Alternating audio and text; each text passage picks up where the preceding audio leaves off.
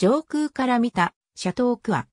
地図シャトークアはアメリカ合衆国の州である。オハイオ州のモンゴメリー郡とオーレン郡にまたがる。非法人地域。位置は北緯39度35分28秒整形。84度17分47秒。北緯39.59111度整形。84.29639度。39.59111-84.29639である。